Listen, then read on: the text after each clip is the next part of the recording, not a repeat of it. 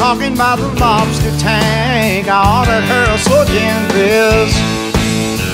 And when them chicken fried steaks arrived, she said, I like living like this.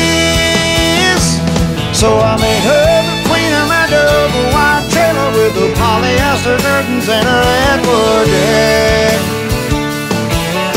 Now she run off and I've got the trailer to hang her black heart in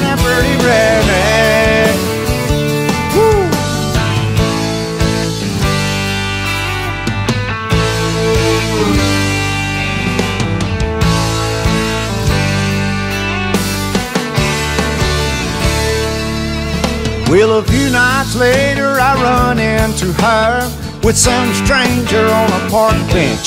She said he rebuilds engines and his name is Earl. He's a Charlie Daniels of the Tark Ranch. I whispered.